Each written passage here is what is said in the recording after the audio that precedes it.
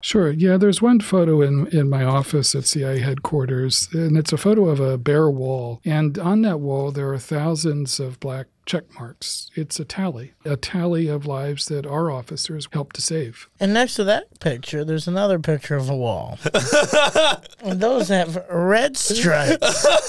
and those are the people that we murdered. It's a bigger wall. Yeah, it's, it's a way bigger wall. It's actually not even really a wall. You know? It's a building. you see a lot of strikes over here. That was 9 11. And uh,